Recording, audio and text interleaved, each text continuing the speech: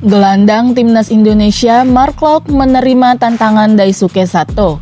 Meski menjadi rekan satu tim di Persib Bandung, tetapi keadaan akan berubah saat bermain di tim nasional.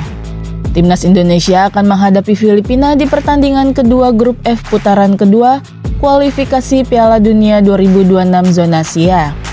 Laga nanti akan berlangsung di Stadion Rizal Memorial Selasa 21 November 2023. Sementara laga nanti diprediksi akan berlangsung ketat karena Mark Lok dan Daisuke Sato akan saling berhadapan. Terlebih kedua pemain tersebut cukup akrab saat memperkuat Maung Bandung julukan Persib Bandung. Meski menjadi rekan satu tim di Persib Bandung, tetapi Mark Lok mengakui siap melawan siapa pun, termasuk Daisuke Sato.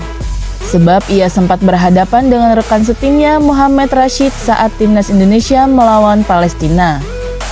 Setiap hari kami latihan bersama, main bersama dan ini ada momentum bermain sebagai lawan di lapangan. Kemarin juga dengan Muhammad Rashid di Palestina. Ucap Marklock dikutip dari laman resmi Persib Bandung Selasa 14 November. Walaupun berteman baik dengan Daisuke Sato, tetapi Marklock mengatakan bakal menjadi musuh saat berseragam tim nasional. Namun ia menjelaskan selepas pertandingan akan kembali menjadi teman. Sangat berbeda kondisinya karena setiap hari bersama, dan ada momentum datang harus bermain sebagai lawan selama 90 menit. Tapi setelah itu kami berteman lagi. Ucap Markok. Ungkapan tersebut menandakan Markok menerima tantangan yang diberikan oleh Daisuke Sato.